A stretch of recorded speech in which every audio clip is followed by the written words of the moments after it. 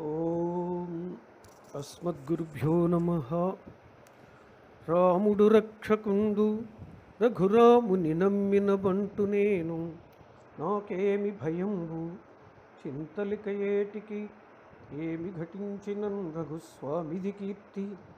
సత్యమిది సత్యమటంచును నా మనంబులో నీ మహనీయ కీర్తి విని నిన్నెద నమ్మితి జానకీపతి?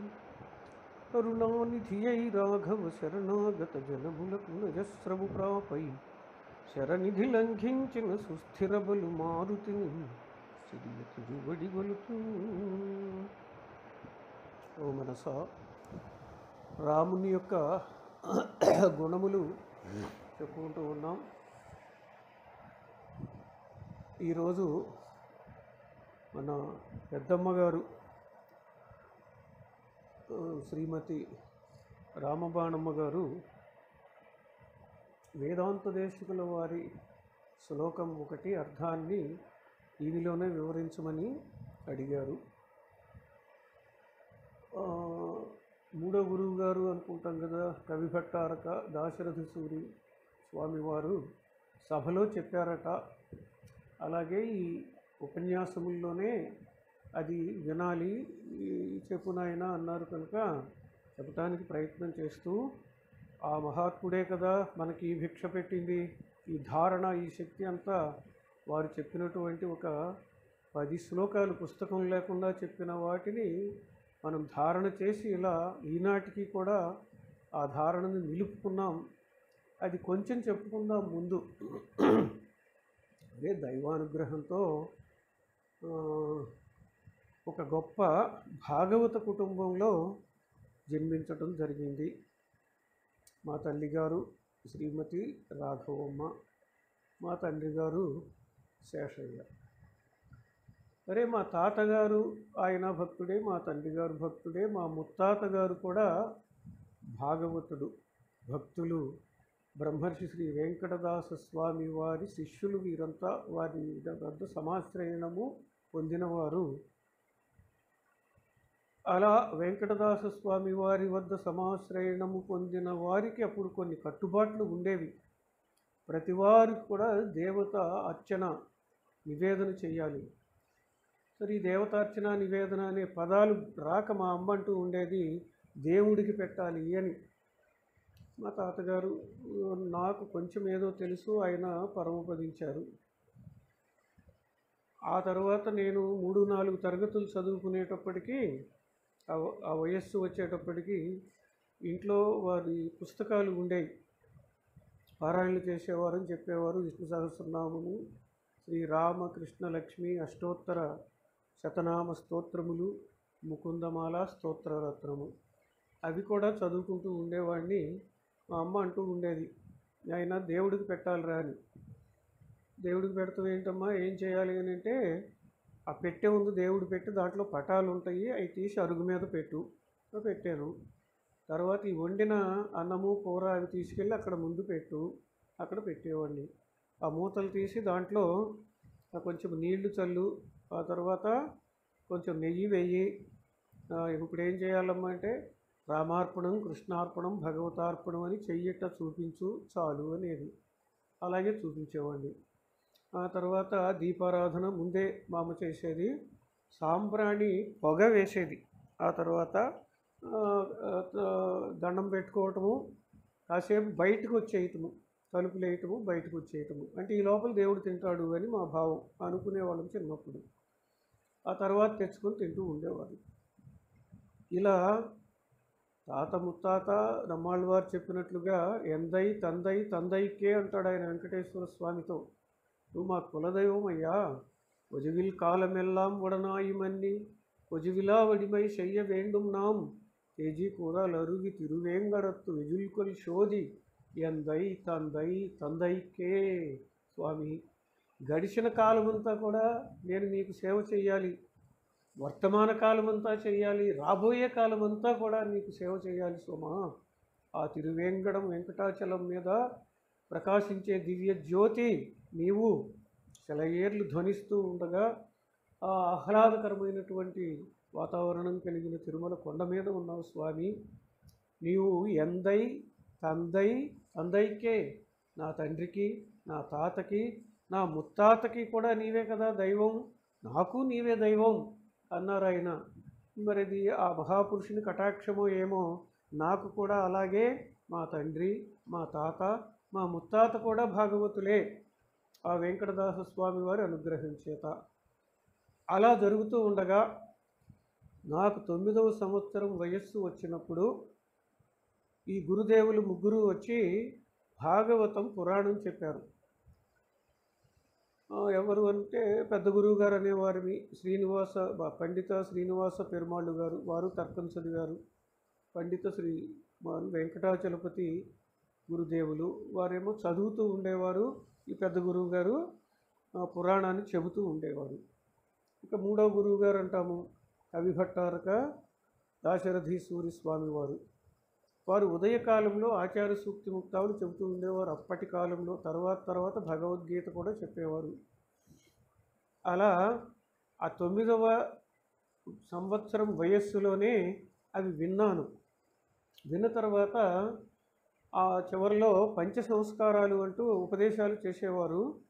అందరూ ఉపదేశాలు అవుతూ ఉంటే నువ్వు వెంకటదాసు గారి మనవడు కదా నువ్వు కూడా చక్రాంకితాలు అవ్వు అన్నారు నన్ను. సరే మా అమ్మ కూడా అవుతుంది.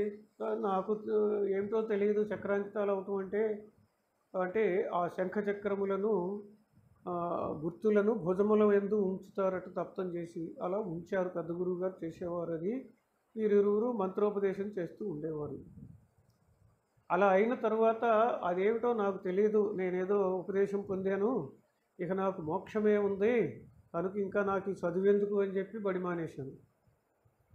ఎప్పుడైతే బడి మానేశానో మా వాళ్ళు చక్కగా గేదెల దగ్గర పెట్టారు కాసుకురమ్మని జీతగాడిని తీసేశారు. సరే అలా చేస్తూ ఉండగా కాంతయ్య దాసు గారు ఒక ఆయన తొంగలవారిపాలెం మా ఊరికి దగ్గరలో ఉండేవారు. ఆయన నువ్వు ఇలా పారాయణ చేస్తున్నావు కదా విష్ణు సహస్రనాము దాంతోపాటు భగవద్గీత కూడా పారాయణ చెయ్యి అన్నాడు ఆయన. ఎందుకంటే అంటే శంకరాచార్యులు వారు చెప్పారు గేయం గీత నామ సహస్రం అని పారాయణ చేయమని కనుక నువ్వు చెయ్యి అన్నాడు ఆయన.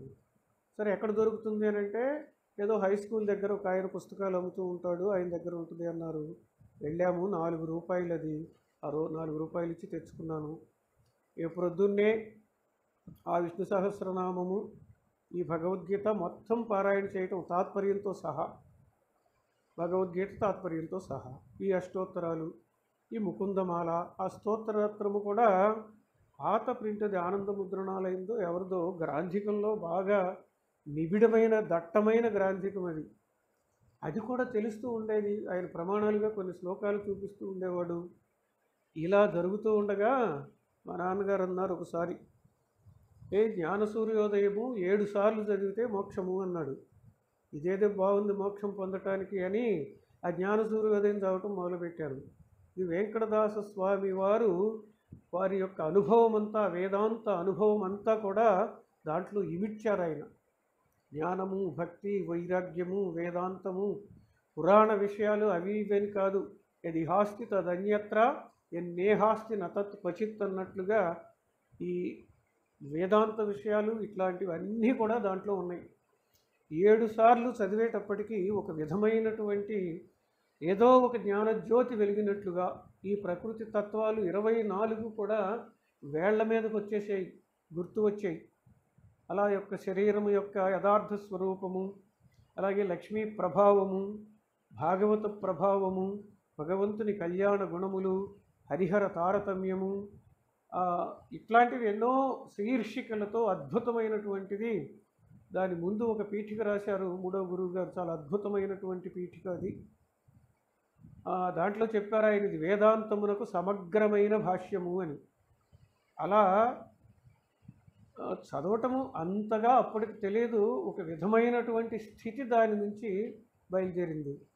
అలాగే వారు చాలా గ్రంథాలు రాశారు. సీతారామ ప్రభావము గోపికా విలాసము ఇలా భాగవత స్వరభూజం అంటూ కీర్తనలు దాంట్లో కూడా వేదాంతము భక్తి వైరాగ్యము.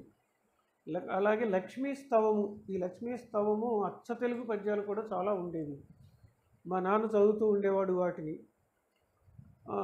అవి వింటూ ఉంటే ఏమిటో నాకు వచ్చేసాయి కం కంఠస్థం అయిపోతూ ఉండే అర్థం కూడా తెలిసేది అది ఒక విచిత్రం మరి ఏంటో నాకు తెలియదు.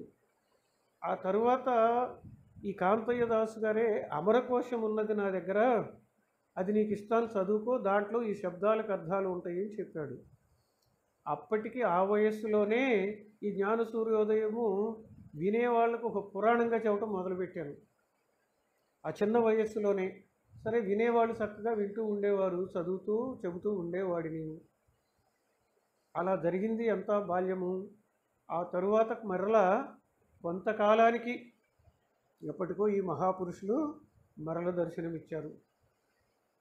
అంతకుముందే మరొకటి కూడా జరిగింది చెప్పుకుందాం.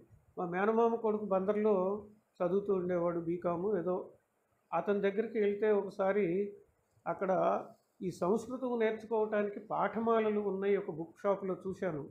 పద్దెనిమిది పాఠమాలలు. ఆ మహబూబ్ నగర్ వాళ్ళే ఎవరో వేశారు అవి కొన్నాను. ఈ సంస్కృతం చదువుకోవాలి అని. అవి చదువుకుంటున్నాను యమరకోశం చదువుకుంటూ ఉన్నాను. ఇంకా రఘువంశం కోసం రాజమండ్రి ఒక బుక్ షాప్కి లెటర్ రాశాను. అంటే అది పంపించారు వాళ్ళు. పోస్ట్ ద్వారా వచ్చింది. ఏదో ఇంత కొంత సామగ్రి ఏదో తయారు చేసుకుంటే అరే గురువుగారు పురాణం చెప్తుంటే అక్కడికి వెళ్ళాను వినటానికి. ఇవన్నీ చూసి ఇదంతా అప్పటికి ఇంకొకటి విషయం గొప్ప విషయం ఇంకోటి ఏంటంటే కవిత్వం వచ్చింది. ఛందస్సు ఏంటో తెలియదు కానీ కంద పద్యాలు చాలా వచ్చేసాయి ఇవన్నీ రాసి కూడా బుల్లెమ్మ గారని ఆమె ఉండేవారు. యశోదమ్మ అసలు ఆమె పేరు బుల్లెమ్మ గారు అంటూ ఉండేవారు. ఆమెకిచ్చి గురువు గారికి చూపించమంటే చూపించింది. ఆ కవిత్వం వాడి మొహమా అన్నారని చెప్పారు అని అన్నది. మరి వారి దృష్టిలో నేను ఎంత కనుక సరే ఆ వయస్సులో ఎంత వచ్చిందని నా ఆనందం. సరే ఆ తర్వాత పురాణం చెప్పే చోటుకి వెళ్తే చదువుకుంటావా? ఇలా వారి వెంట ఇంకొక అతను ఉన్నాడు వెంకటకృష్ణయ్య అని. అతను చదువుకోవటానికి వచ్చాడట వాస్తు చదువుకోవటానికి వస్తే అతను కూడా తీసుకొచ్చారు. ఆ శబ్దమంజరి అమరకోశం ఏదో చెప్తున్నారు అతనికి. మరి ఆ అమరకోశము అది తెచ్చుకొని అంటే నా దగ్గర ఉంది స్వామి అన్న. ఎక్కడది నీకంటే? ఇలా ఇదంతా చెప్పాను. సరే శబ్దమంజరి మాత్రం కుటుంబయ్య గారు ఆయన చాలా భక్తులు. వారి స్వామివారికి బంధువు కూడా. ఆయన బందర్లో తెచ్చిచ్చారు ఆయనకు డబ్బులు ఇమ్మన్నారు ఇచ్చేశాను. వాటిని అలా చదువుకుంటూ ఉన్నాను. ఆ తర్వాత మరలా ఎప్పటికో ఈ రఘువంశము శబ్ద సమాసాలు ఆకాంక్షతో చదువుకుంటే బాగుంటుంది అన్నారు. మరి ఆ పుస్తకం లేదు స్వామి నా దగ్గర ఇదే ఉన్నదని అంటే మా వాడి దగ్గర ఉంది కృష్ణప్రసాద్ దగ్గర మోదుముళ్ళు వెళ్ళి తెచ్చుకో అన్నారు పెద్ద గురువు గారు. వెళ్ళి అడిగితే ఆయన నా దగ్గర లేదు అన్నాడు. సరే మళ్ళీ అప్పుడు మా ఊర్లో అన్నమాట ఇది. ముందు జరిగింది మోదుమూడిలో సరే వచ్చాను. వచ్చిన తర్వాత ఇలా అన్నారండి లేదన్నారు అని చెప్పాను. అయితే మూడో గురువు గారు అన్నారు నేను నాకు పుస్తకం అవసరం లేదు నేను చెబుతాను. శ్లోకం దాంట్లో ఉన్నది. చదువుకో ఒకసారి చెబుతా. సాయంత్రానికి అప్పచెప్పు. నువ్వు అప్పచెప్పావా? ఇలా సాగుతుంది చెబుతా నేను నువ్వు చదువుకో. లేదంటే ఆపేద్దాం వచ్చిన నష్టం లేదుగా అన్నారు. మరి వారికైతే అవసరం లేదు వారి ఆ, మహా విద్వాంసులు ధారణా శక్తి వారిది. పరిమితి లేనటువంటి ధారణ అది ఒక మహా విద్యాసాగరము సముద్రము జ్ఞాన నిధి వేదాంత పెన్నిధి. ఎన్ని మాటలు చెప్పినా మరి వారికి మనం చెప్పేవన్నీ కూడా చాలవు. అంతటి మహాపురుషులు సరే చెప్పారు. సరే తెలిసిందే కదా గురువుగారు ఒకసారి చెప్తే రెండుసార్లు అనాలి. వారు చెప్పారు వాగర్ధావివ సంపృక్త వాగర్ధ ప్రతిపత్తయే జగత పితరౌ వందే. పార్వతీ పరమేశ్వరవు శ్లోకం చదువుకున్నాను వారు చెప్తున్నారు వందే. నేను రెండుసార్లు అనాలి వందే వందే. నమస్కరించుతున్నాను నమస్కరించుతున్నాను కౌ ఎవరిని గూర్చి? పార్వతీ పరమేశ్వరవు పార్వతీ పరమేశ్వరులను గూర్చి? పార్వతీ పరమేశ్వరవు కథం భూతౌ. పార్వతీ పరమేశ్వరులు ఎట్టివారు? ఇతరవు తల్లిదండ్రులు కశ్య దేనికి జగత లోకమునకు.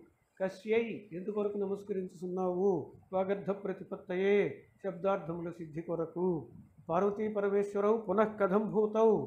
పార్వతీ పరమేశ్వరులు ఇంకనూ ఎక్కువారు. సంపృక్తవు కలిసి ఉన్నటువంటి వారు. కావివా ఏరెంటి వలే వాగర్ధావివా. శబ్దార్థములు వలె ఇది ఆకాంక్ష అంటారట.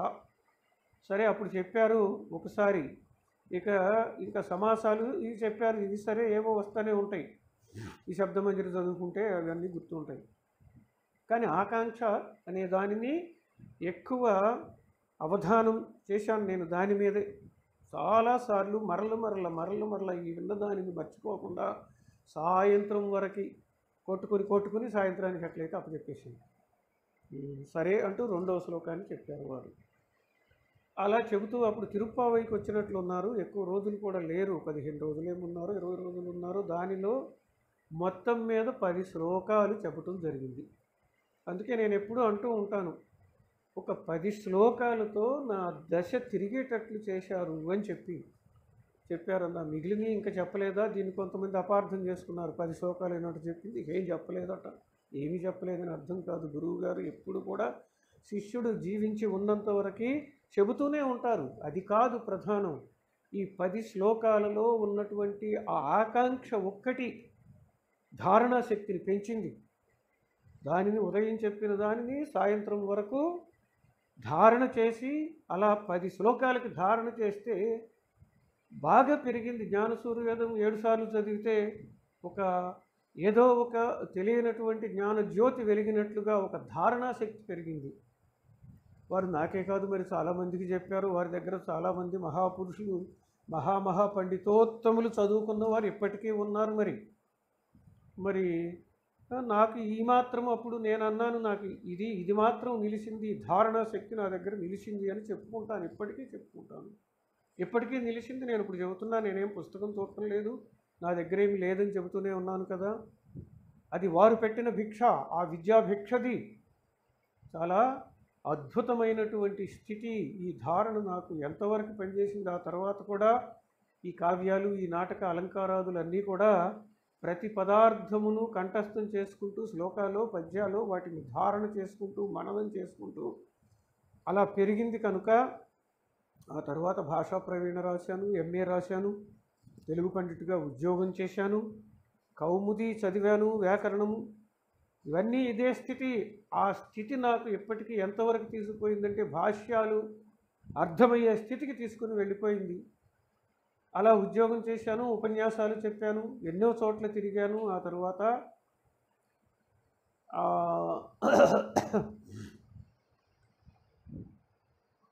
విజయవాడ వచ్చాను రిటైర్ అయిపోయిన తర్వాత శ్రీమాన్ తూపురాణి ఉడయవర్లు స్వామివారు వారు ఎంతోమందికి భగవద్ విషయము ద్రవిడ ప్రబంధాలు కాలక్షేపాలు అనుగ్రహించారు. సరే ఈ లోపల చాలా చరిత్ర నడిచింది. అష్టాక్షరి త్రిదండి శ్రీమన్నారాయణ అష్టాక్షరి జీయర్ స్వామివారు.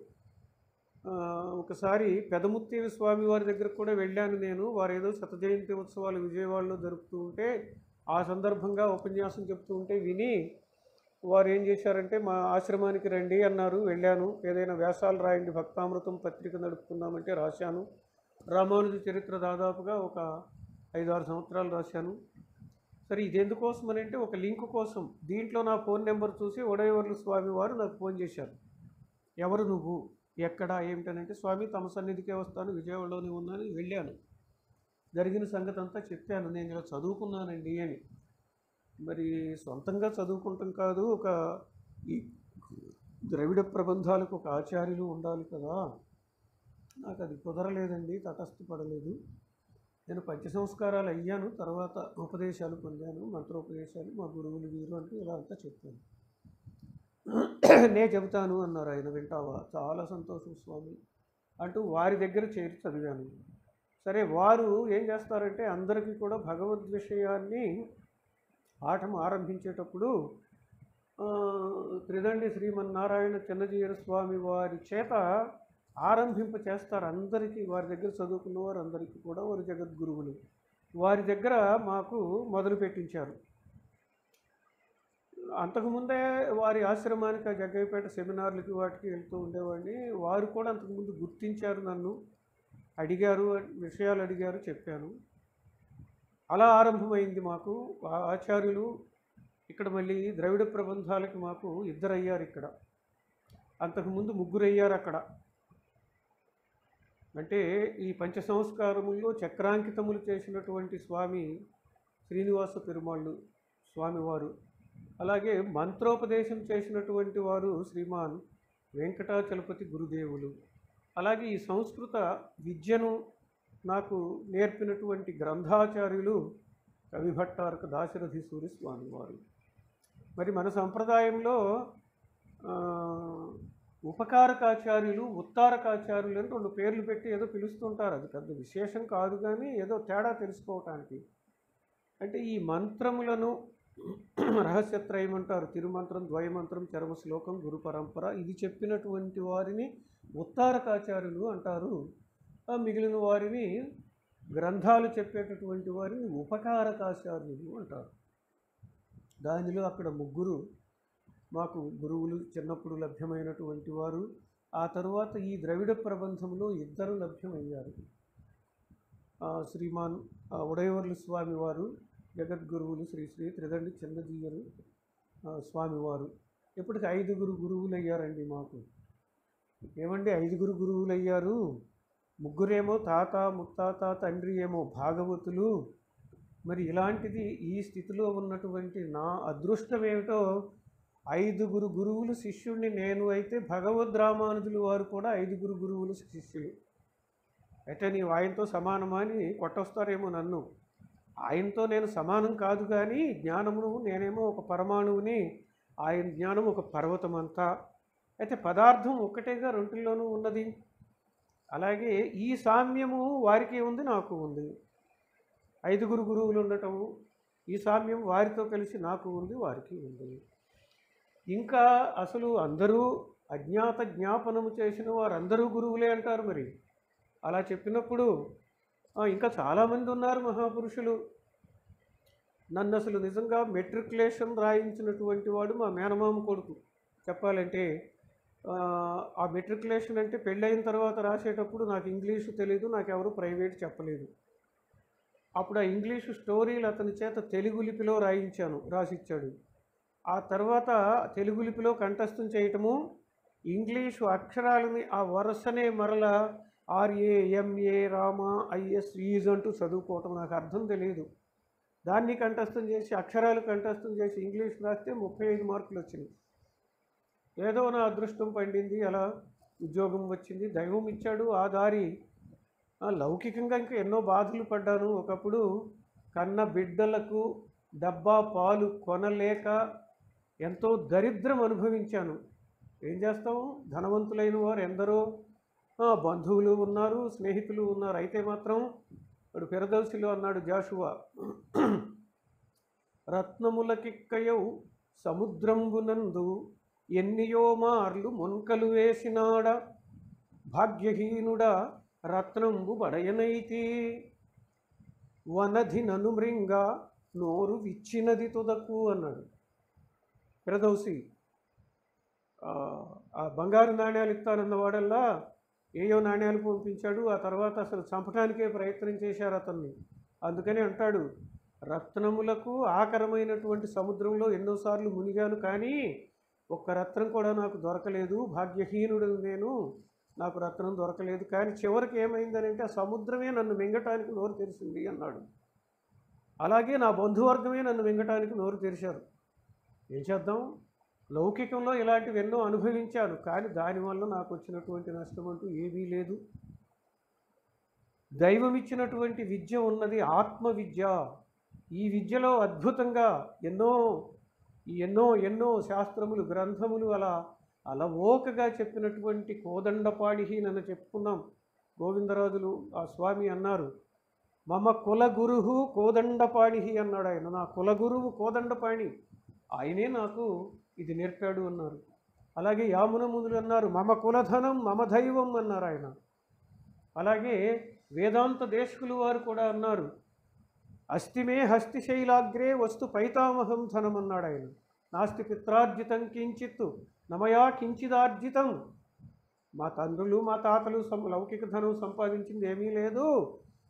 కానీ అష్టిమే హస్తిశైలాగ్రే వస్తు పైతామహం ధనం. పితామహ తండ్రులు తాతలు సంపాదించినటువంటి ధనం ఉన్నదే అది. హస్తిశైలాగ్రమునందు వరదరాజస్వామి రూపంలో ఉన్నది అన్నాడు. ఎవరితో అన్నాడు అని అంటే ఆయన కూడా వేదాంత దేశకుల వారు చదువుకునేటప్పుడు మహాభాష్యం చదువుకునేటప్పుడు వ్యాకరణ భాష్యము విద్యారణ్యులు స ఆయనకి సబ్రహ్మచారి. అంటే వీరిద్దరూ ఒక గురువు గారి దగ్గరే చదువుకున్నారు. తర్వాత ఆయన ఈ సంగమ వంశీయులైనటువంటి హరిహరరాయలు బుక్కరాయలను పట్టుకుని తుంగభద్ర నది ఒడ్డున విజయనగర సామ్రాజ్యాన్ని స్థాపించి అద్భుతమైనటువంటి స్థితిలో ఉన్నాడు ఆయన వేదాంత దేశకుల వారేమో భిక్షాటన చేసుకుంటూ ఉన్నారు. విద్యలన్నీ అయిపోయి కవిత్వం చెబుతూ ఉన్నారు. అంతటి నిజంగా చెప్పాలంటే అసలు వేదాంత దేశకులు వారు రచించిన గ్రంథములు శతాధికంగా అవి చదవటానికే ఒక వ్యక్తి జీవితం చాలదు. మరి ఎలా రచించాడో రచన అంటే మరి సామాన్యమా? అన్ని ప్రక్రియలలోనూ రచన చేశాడు. ఆయన అద్భుతమైనటువంటి రచన కోట మీద కోటలు కట్టాడు అన్నారు ఆయన. విశిష్టాద్వైతానికి రామానుజుల వారి భాష్యముల మీద భాష్యం రాశాడు ఆయన. అటువంటి మహాపురుషుడు ఆయన ఆయనని రాజాస్థానానికి రమ్మని విద్యారణ్యుల వారు కబురు చేశారు. కబురు చేస్తే రాజుల దగ్గరకి నేను రాను అన్నాడు ఆయన. ఎందుకయ్యా? ఎందుకోసము రాజుల దగ్గరకు చేరాలి? నిజానికి మనకి కడుపుకి ఆకలి అవుతూ ఉంటుంది దానికి అన్నం పెట్టాలి. శిలంకి మనలం భవేదనలం ఔదరం బాధితం. ఔదరం ఉదర సంబంధమైనటువంటి ఆకలిని తీర్చడానికి శిలంకి మనలం శిలవృత్తి చాలదంటయా? రాలిపోయిన గింజలు ఏరుకుంటే చాలవా? భిక్షాటన చేస్తే పొసగ భిక్షయు పెట్టరే పుణ్యసతులు అంటాడు సుఖయోగీంద్రుడు. పోతన గారి అను తెలుగు అనువాదంలో చెబుతారు భాగవతంలో. భిక్ష పెట్టరా పుణ్యసతులు? ధన మదాంధుల కొలువేల తాపసులకు అన్నాడు ఈయన సుఖమహర్షి అలాగే ఆయన కూడా అన్నాడు ఎందుకయ్యా?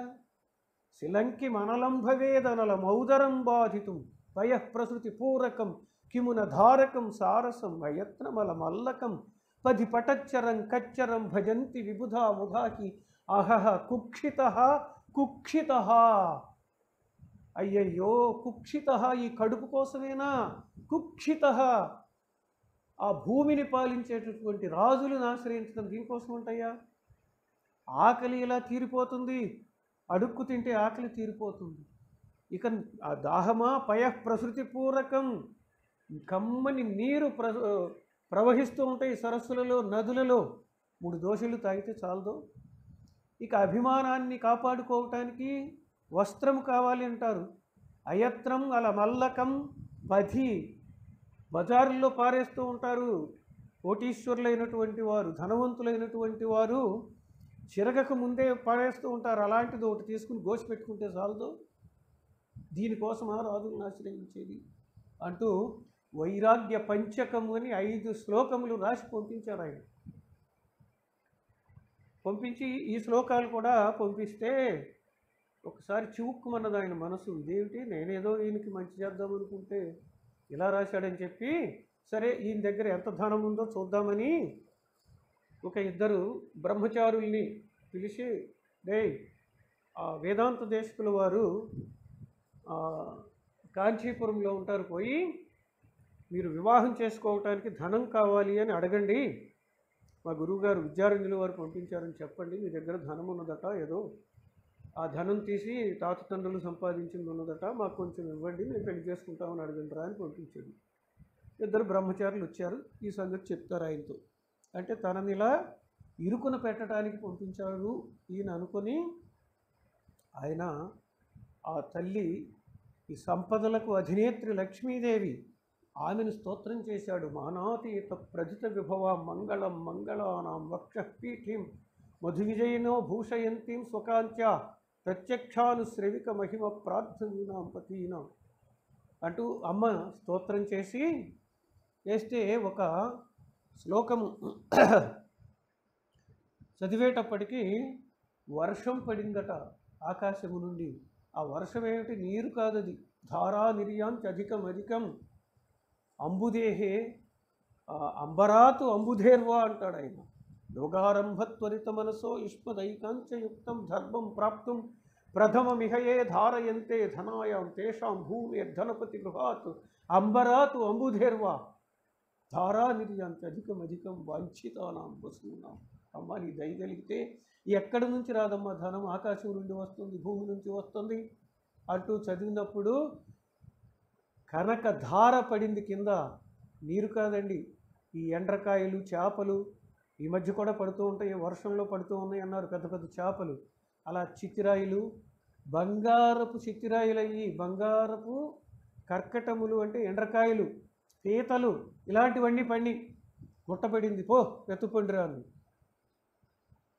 తీసుకుపోయారు వాళ్ళు. ఏం ఉంచుకోలేదు ఆయన కోసం ఏం అవసరం లేదు. ఆయన మహాపురుషుడండి ఉంచే వృత్తితో వెళ్ళిపోయింది ఆయన జీవనం. అయితే ఈయన ఇస్తే తీసుకోవటం లేదు అని చెప్పి కొంతమంది మహాతల్లులు ఆ బియ్యం మాత్రమే తీసుకుంటాడు ఆయన. ఏదైనా స్వయంపాకము కూరలు అలాంటివి ఇస్తే. ఈ బియ్యంలో కలిపి మణులు మాణిక్యాలు వజ్రాలు వైడూర్యాలు వేసేవారట జోలెలో. ఆయన స్తోత్రరత్నము పారాయణ చేసుకుంటూ వెళ్ళేవాడు. యామునాచార్యులు వారు రచించిన స్తోత్రరత్నం ఈ భిక్షాటనకి.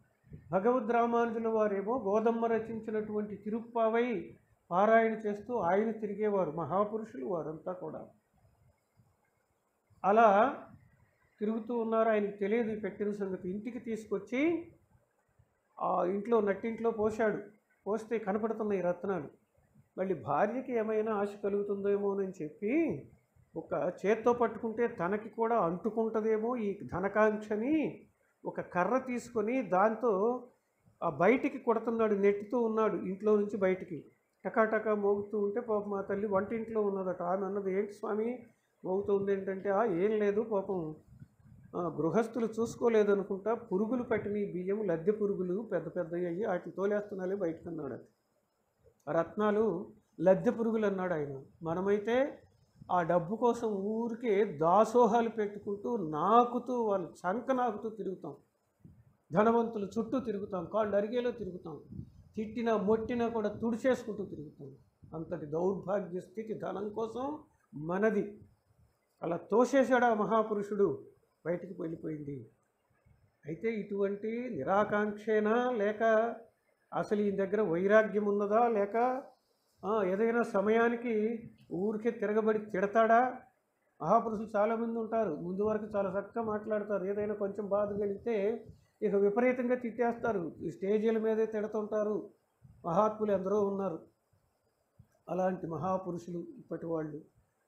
సరే వారి తెలుసుకోవాలని చెప్పి కొంతమంది ప్రత్యర్థులు చెప్పులు దండగా కట్టి రాత్రి సమయంలో పడుకున్న తర్వాత ఆయన నిద్రపోయిన తర్వాత ఆ ద్వారానికి తోరణంగా కట్టారు చెప్పుల తోరణం. బయటికి లేచి వచ్చేటప్పుడు తలకి తగులుతుంది. అది కిందగా ఉండేది వసారాలు పూర్వకాలం. తలకి తగులుతుంది. తల వంచొచ్చినా తగులుతుంది. అలా కట్టారట. సరే కట్టేసి తెల్లవారుజామున వచ్చారు. ఏదైనా ఈయన బ్రాహ్మీ ముహూర్తంలో నిద్రలేస్తాడు బయటకు వస్తాడు కదా అల్పసంఖ్యలు అవి తీర్చుకోవడానికి అలా వస్తాడు. తలకి తగిలితే తిడతాడా లేదా అని చుట్టూ కూర్చున్నారు వాళ్ళు. అలాగే లేచి వచ్చాడు ఆయన. తలకి తగలనే తగిలి చూశాడు చూస్తే చెప్పులు అప్పుడు అంటాడు ఆయన. కర్మావలంబకాహ కేచిత్తు కేచిత్తు వయంతు హరిదాసానాం పాదరక్షావలంబకా మోక్షాన్ని పొందటానికి చాలామంది కర్మావలంబకులు అంటే కర్మయోగము. శ్రీకృష్ణ స్వామి చెప్పాడు కర్మయోగం. ఆ కర్మయోగాన్ని ఆచరించి మోక్షాన్ని పొందుతారు. మరికొంతమంది జ్ఞానయోగమును ఆశ్రయించి మోక్షాన్ని పొందుతారు. ఈ రెండే మార్గాలు మోక్షానికి మరి భక్తి లేదా అని అంటారేమో భక్తి దీనిలో అంతర్భవితమై ఉంటుంది. అంటే కర్మయోగము భక్తితోనే చేయాలి జ్ఞానయోగము భక్తితోనే చేయాలి. ప్రత్యేకంగా భక్తి యోగం అంటూ చేయవసరం లేదు. ఈ రెండే మార్గాలని చెప్పాడు ఆయన. ఇలా పొందుతారు మోక్షాన్ని. కానీ మేము మాత్రం మరొక మార్గాన్ని అవలంబిస్తాం. ఏమిటనంటే వయంతు మేము మాత్రం హరిదాసానం పాదరక్షావలంబకాహ. హరిదాసుల పాదరక్ష అవలంబక యోగము మాది. మాది కర్మయోగం కాదు జ్ఞానయోగం కాదు. హరిదాసుల పాదరక్షావలంబక యోగము మాది అని చెప్పాడు ఆయన దీని మీద ఒక వ్యాసం రాశాను నేను. హరిదాస పాదరక్షావలంబక యోగము అని భక్తామృతంలో ఇచ్చా ప్రకటించారు అప్పుడు వారు. సరే అలా అన్నందుకు ఆయన అన్నాడని విని వీళ్ళు సిగ్గుపడ్డారు. తిట్టలేదు పైగా పొగిడాడు ఆయన హరిదాసులు పాదరక్షలు తగిలితే చాలు కదా మాకు మోక్షమే ఇదే మా యోగము అన్నాడు ఆయన మరి నే రాసింది ఏమిటనంటే అక్కడ నాకు అనిపించింది రాశా చెబుతాను వినాలి తప్పకుండా. హరిదాస పాద రక్ష అవలంబక యోగము. హరిదాసులు అని అంటే హరిదాసులు అని అంటే నమ్మాళ్ళవారు హరికి దాసులు. ఆయన హరిదాసు. ఆయన పాదరక్ష అంటే ఆయన పాదుక. ఆయన పాదుక ఎవరండి? రామానుజుల వారు. భగవంతుని పాదుక నమ్మాళ్ళు వారు దేవాలయంలో ఇచ్చేటటువంటి శఠారి అంటారంటే నమ్మాళ్ళు వారు మరి రామానుజుల నమ్మాళ్ళవారి నమ్మాళ్ళ వారి గుడి దగ్గర ఏమని అడగాలి? అక్కడ కూడా శఠార్ అంటే కుదరదుగా? వారి గుడి దగ్గర రామానుజుల వారిని ఇవ్వమని అడగాలి. అంటే వారి పాదములు నమ్మాళ్ళు వారి పాదములు రామానుజుల వారు. ఇప్పుడు హరిదాస పాదరక్ష అంటే రామానుజాచార్యులు వారు. అంటే రామానుజాచార్యుల వారు చెప్పినటువంటి ఏ సిద్ధాంతం అయితే ఉన్నదో అదిగో ఆ సిద్ధాంతాన్ని అవలంబించాము మేము మోక్షానికి అని అర్థం వచ్చింది చూడండి ఆ పదంలో. మహాపురుషుల నోటి నుండి వచ్చేటటువంటి పదములు ఎంతెంత అర్థములు ఇస్తూ ఉంటాయో చూడండి. చూసే దృష్టిలో ఉంటుంది. మనకి కానీ ఏ విధమైనటువంటి ఈర్ష్య అసూయ ద్వేషము వాటిని ముందు మనసులో పెట్టుకొని ప్రవేశించాము అని అంటే చక్కగా మన ముంచేస్తాయి అవి. అలా కాదు. ఆ ఆచార్య కటాక్షము దైవ అనుగ్రహము కావాలి నాకు అని అంటూ ఏ గ్రంథాన్ని చదువుతూ ఉన్నామో గ్రంథానికి కూడా నమస్కారం చేయాలి. అలా చేసినటువంటి వారు పెద్దలు ఉన్నారు చేస్తూ ఉన్నారు. అప్పుడు మనకి అవగాహనలోకి వస్తూ ఉంటాయి. ఆ కటాక్షము వలన అలా రాశాను నేను ఒకటి అది చెబుతూ ఉన్నాను. సరే ఇక ప్రకృతానికి వద్దాం. గురువుగారులు చెప్పాం కదా. ముగ్గురు గురువుగారులని చెప్పాము. వెంకటదాస స్వామి వారి కుమారులని చెప్పాము. దానిలో కవిభట్టారక అని బిరుదు కలిగినటువంటి వారు తండ్రి గారి చరిత్ర రాశారు. తపోమహిమ అనే పేరు పెట్టి అద్భుతమైనటువంటి గాథ. అది చదివితే మోక్షం అన్నారు అప్పుడు. దానికి చెప్పారు మోక్ష గ్రంథము అని. అలాగే కావ్యకళ అని ఒకటి రాశారు వారు. ఇంకా నాటకాలు రాశారు అనుకోండి కొన్ని. కొన్ని అచ్చయినవి కొన్ని అచ్చుకానివి కొన్ని. దానిలో కావ్యకళలో తొమ్మిది రసములకు తొమ్మిది శీర్షికలు పెట్టారు ఆయన. తొమ్మిది శీర్షికలు పేరు పెట్టి తొమ్మిది రసములు నవరసములు రాశారు. కావ్య కళ అనే పేరు కూడా పెట్టారు. నిజానికి కావ్యంలో ఆ రసాలే కదా కావ్యకళ. అయితే ఏమిటంటే దాంట్లో వారిని గురించి కొన్ని చెప్పుకున్నారు. ప్రతి వారు చెప్పుకుంటారు వారిని గురించి చెప్పాల్సిందే కదా లేకపోతే లోకానికి తెలియదు కదా. దాంట్లో ఒక చిన్న పద్యం సుత చతుష్టయం అవధాత శుద్ధ చరితం అందు మూడవవాడ నేను. ఇందు వదనలిరువురను నుండి నుండిరింక మాకు సుత చతుష్టయం అంటే వెంకటదాస స్వామి శ్రీమతి రాధమాంబ ఆ పుణ్య దంపతులకు నలుగురు కుమారులము మేము. అవధాత శుద్ధ చరితము తెల్లని శుద్ధమైనటువంటి అంటే పరిశుద్ధమైనటువంటి నిష్కలంకమైనటువంటి చరిత్ర కలవారిని మేము శీలము కలవారిని మేము నడవడి కలవారిని మేము. అందు మూడవ వాడ నేను మూడవవాడిని నేను. ఇంకా ఇరువురు అనుజాతలు హిందూ వదనలు అనుజాతలు అంటే మా తర్వాత పుట్టారు మాకు చెల్లెళ్ళు.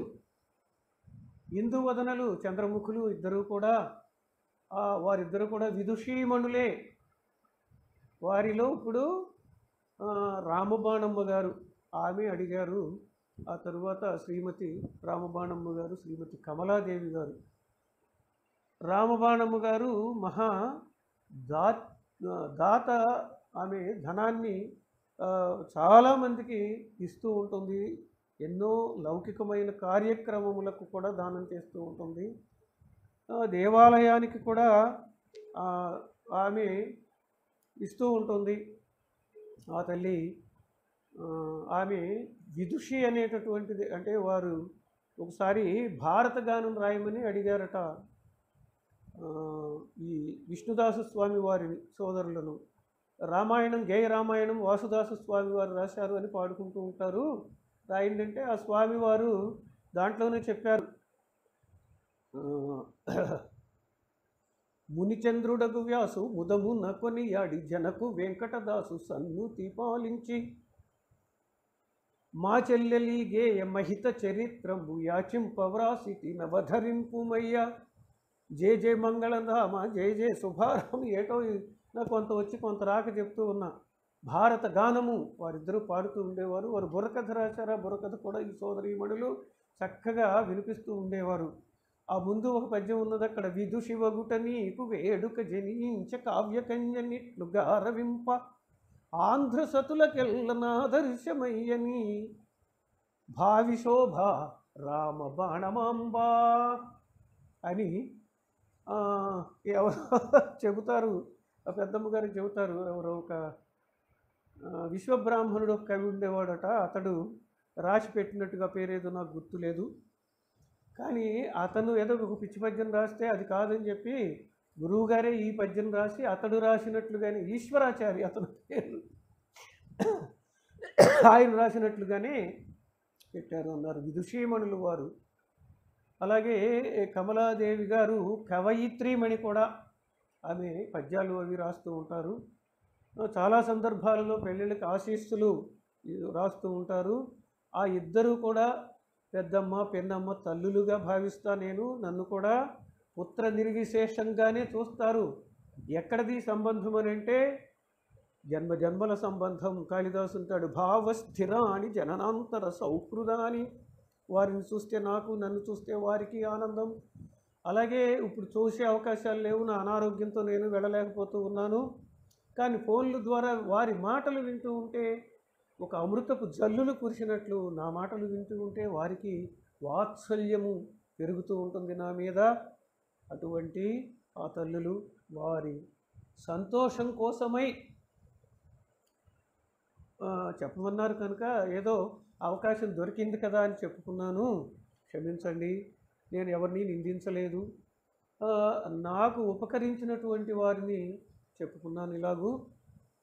ఇంకా ఎందరో మహానుభావులు ఉపకారం చేసిన వారు వారందరికీ కూడా వందనాలే. అపకారం చేసినటువంటి వారికి కూడా వందనాలే. ఎందుకంటే అపకారం చేసిన వాళ్ళందరూ నా పాపాన్ని పంచుకుంటారు కనుక.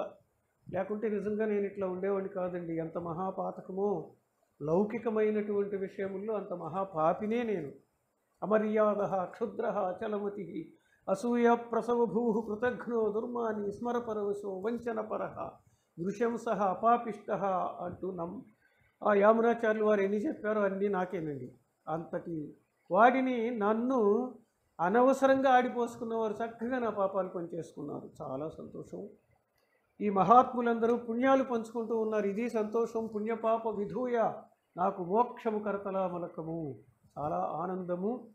దానిలో ఏ స్థాయి అని అంటే నేను చదివినటువంటి గ్రంథముల ద్వారా పిల్లలోకాచార్యులు వారి తమ్ముడు అలహీయ మనవాళ్ళ పెరుమాళ్ళ నయనార్ రాసినటువంటి ఆచార్య హృదయంలో కొంత అచిత్ సంబంధము కొంత అయిన సంబంధము రెండు చెప్పాడు ఆయన. ఇక్కడితో నా యొక్క ఆ అజ్ఞానము పోయింది విజ్ఞానము పూర్తయింది అయిన సంబంధము ఆ భగవంతునికి చేరువలోకి వెళ్ళిపోతున్నాను వెళ్ళాను నేను. సరే ఆ తల్లి అడిగినటువంటి ఆ మాతృమూర్తి అడిగినటువంటి ఆ శ్లోకానికి కూడా అర్థం చెప్పుకుందాం. వేదాంత దేశకుల వారు ఎవరిని ఆశ్రయించలేదు? ఈ ఆశ్రయించటం ఎందుకు ఆశ్రయించలేదు అని అంటే నా వాక్కులు ఎంత గొప్పవో చూడండి అన్నాడు ఆయన. కాచాయ నీచాం కమనీయ వాచ మోచా ఫల స్వాదు నా వాక్కులు ఎటువంటివి అంటే కమనీయమైనటువంటి వాక్కులు. మోచాఫల స్వాదుముచా చక్కగా పండినటువంటి అరటి పండ్ల రుచిని దొంగిలించేటటువంటివి సుమా. అంటే అంత రుచి కలిగినటువంటి వాక్కులు నావి. ఈ వాక్కుల చేత మరి ధనాన్ని సంపాదించుకోవచ్చు కదా అంటే ధనం సంపాదించటమా ఎందుకయ్యా? స్థితే కుచేలే శ్రితమా కుచేలే దయా కుచేలే ధనదత్ కుచేలే మాకు కుచేలుడు నలుగురు ఉన్నారు లోకంలో మనకు ఒక కుచేలుడే తెలుసు. స్థితే కుచేలే అకుచేలే స్థితే సతి. దీన్ని సతి సప్తమి అంటారు. మాకు అకుచేలుడు ఉండగా ఇక్కడ అకార ప్రశ్లేష వస్తుంది. స్థితే అకుచేలే. అకుచేలుడు అని అంటే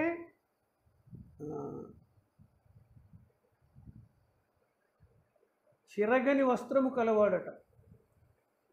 చిరగని వస్త్రం. కుచేలుడంటే చిరిగిన వస్త్రం కలవాడు.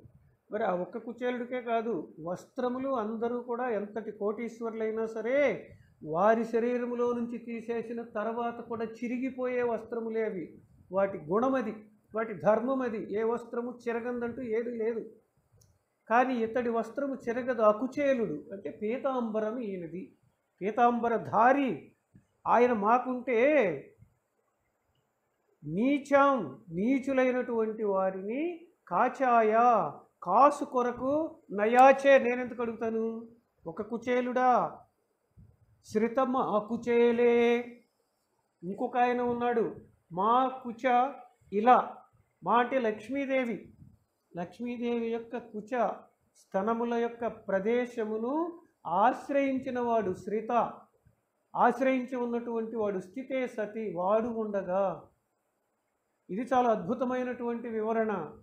కోతన గారి పద్యం చక్కగా ఆదిని శ్రీ సతి కొప్పుపై తనువుపై అంశోత్తరీయంబుపై పాదాబ్జంబులపై కపోల తటిపై పాలిండ్లపై నూత్న మర్యాదంజెందు కరంబు అన్నాడు ఆయన. పాలిండ్లు ఇక్కడ మా కుచములు అని అంటే పాలిండ్లు అమ్మ పాలిండ్లు మనకేమో జీవులకు స్తన్యము ధారకమైనటువంటి స్తన్యం ఇచ్చేవి పతి అయినటువంటి ఆ నారాయణునకు భోగ్యమైనటువంటివి. వాటిని ఆశ్రయించి ఉండే కుచేలుడు మాకు కాయన ఉన్నాడయ్యా మా కుచేలుడు కాయను ఉన్నాడు ఆ కుచేలే స్థితే సతి నీచాం నీచులని నేను అడగను అన్నాడు. దయా కుచేలే ఇంకొక కుచేలుడు మాకున్నాడు. ఎవరంటే దయా దయా గుణమునందు కుచేలుడు. కు అంటే భూమి. భూమికి చేలమైనది సముద్రము సముద్ర వసన అని భూమికి పేరు. అంటే చుట్టూ ఉంటుంది స- భూమికి చుట్టూ ఉంటుంది వస్త్రములాగా. అంటే సముద్రు దయా సముద్రుడు స్థితే సతి ఆయన మాకుండగా. మాకెందుకయ్యా? ఈ నీచులను అడగటము అన్నాడు. ధనదత్ కుచేలే ఇంకొక ఆయన ఉన్నాడు. అంటే ఇక్కడ మామూలు కుచేలుడు వస్తాడు. ఎవరంటే ఈ కుచేలుడే. మనకి గధలో ఉన్నటువంటి ఆ కుచేలుడు ఆయనని ధనదత్తు కుబేరుని వలె చేశాడట. ధనద ఇవ ఆచరతీతి ధనదత్తు ధనదుని వలె చేశాడంటే కుబేరుడిలాగా చేశాడు ఈ కుచేలుడిని ఆయన అటువంటి కుచేలుడు ఒక ఆయన ఉన్నాడు. ఇక ఇంకా మాకెందుకు చెప్పు? ఈ రాజులని ఆశ్రయించాలా? అంటారు ఆయన. సరే ఈ శ్లోకం కోసం దాదాపుగా ఈరోజు మనం యాభై నిమిషాలు మింగేశాం. ఎవరేమన్నా నండు నాకేమి కొరత అన్నట్లుగా శ్రీనాథుడు అంటాడు. అలాగే ఎవరేమన్నా అనుకోనియండి మా తల్లులు అడిగారు వారు ఆనందంగా వింటారు వారి కోసం చెప్పాను. ఆ వినగలిగిన వారు వినండి సంతోషించితే సంతోషించండి వారు మాత్రం సంతోషిస్తారు చాలా ఆనందం. అవే మాకు ఆశీస్సులు చాలా సంతోషము. మా పిల్లలు దీన్ని దీంట్లో పెడతారు ఏదో యూట్యూబ్లో పెడతారు. కనుక రామకథ చెప్పుకుందాం వరుసగా తర్వాత చెప్పుకుందాం. ఇలా ప్రతి పదానికి కూడా అర్థాన్ని వివరిస్తే అయినంత అవుతుందండి. ఈ రోజునే అవ్వాలని ఏముంది ఇదొక నియమమా? రామకథ నిజంగా తెలియని వారు అసలు ఎవరండి? ఏమీ తెలియని వారు ఎవరూ లేరు. ఎందుకంటే మూడే మాటలు కట్టే కొట్టే తెచ్చే. ఎవరైనా చెబుతారు ఈ మాట. ఏమిటంటే సముద్రానికి సేతువు కట్టే రావణాసురుడిని కొట్టే సీతమ్మను తెచ్చే. మరి పూర్తిగా తెలిసిన వారు ఉన్నారంటే ఎవ్వరూ లేరు. ఎందుకనంటే ఆ పద్నాలుగు సంవత్సరాల అడవుల్లో వాళ్ళ దినచర్య ఏమిటో మనకు తెలుసా? ఆ తర్వాత వచ్చి పదకొండు వేల సంవత్సరములు రాజ్యపాలన చేశాడు రాముడు అన్నారు. అప్పుడు తెలుసా మనకి?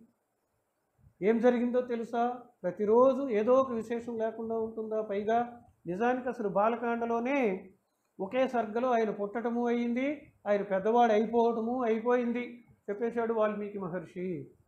అలా రామాయణం పూర్తిగా తెలిసిన వారు లేరు.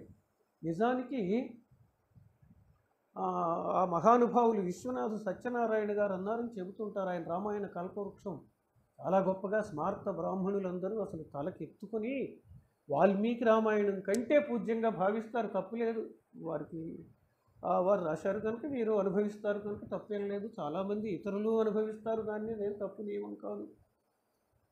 ఆయన అన్నారట ఒక వేదిక మీద దాశరథి అంటే వీరు మన దాశరథి రంగాచార్యులు గారు దాశరథి రంగాచార్యులు గారు. చాలా వేదములు కూడా తెలుగులో రాశారు ఆయన. ఇంకా చాలా రాశారు. రామాయణం కూడా అనువాదం తెలుగులో రాశాడు ఆయన. ఇక వేదిక మీద అన్నారట దాశరథి రంగాచార్యులు గారితో. ఏమయ్యా? వాల్మీకి ఏమైనా అర్థమయ్యాడా? అన్నారు. కాలేదండి బాబు అన్నాడంటే ఈయన. ఎన్నిసార్లు చదివినా కాలేదండి. నాకు కాలేదయ్యా అన్నాడు ఇంత ఏది? కల్పవృక్షము రాసి ఏదో అకాడమీ లక్ష రూపాయల అవార్డు ఇచ్చింది అప్పుడు చాలా గొప్పది అది జ్ఞానపీఠ అవార్డు అది అది పొంది రామాయణముని అంత గొప్పగా చెప్పినటువంటి ఆయన వారి శిష్యులు చాలా చోట్ల వాల్మీకి కంటే గొప్పగా చెప్తారంటారు చెప్పుండొచ్చు.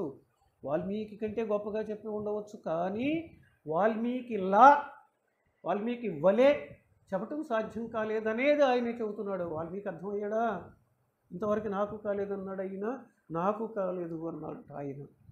ఇందుకోసం నేను చెప్పాను కానీ కించపరచడానికి ఏమీ కాదు. మహాపురుషులు వారందరూ కూడా అంతటి రామకథ ఏ ఒక్క అక్షరమైనా సరే ఏకైకం అక్షరం ప్రోక్తం మహాపాతక నాశనం. ఒక అక్షరం చాలు. పరిశుద్ధమైనటువంటి మనస్సుతో ఆ రామచంద్ర స్వామికి చేతులెత్తి మ్రొక్కి స్వామి నీకు కథ అర్థమయ్యేటట్లు అనుగ్రహించమని ఆ సీతమ్మని ఆ రామయ్యని కోరుకుంటే హనుమ మనకి అనుగ్రహిస్తాడు.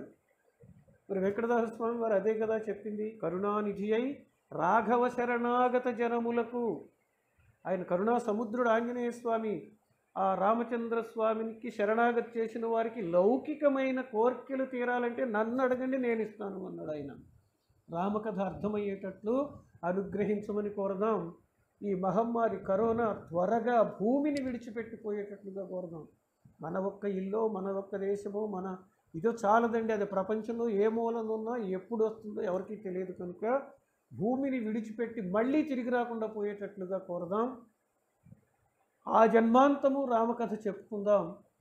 విందాం. చాలా సంతోషంగా ఇళ్ళలో ఉందాం. జై శ్రీరామ్!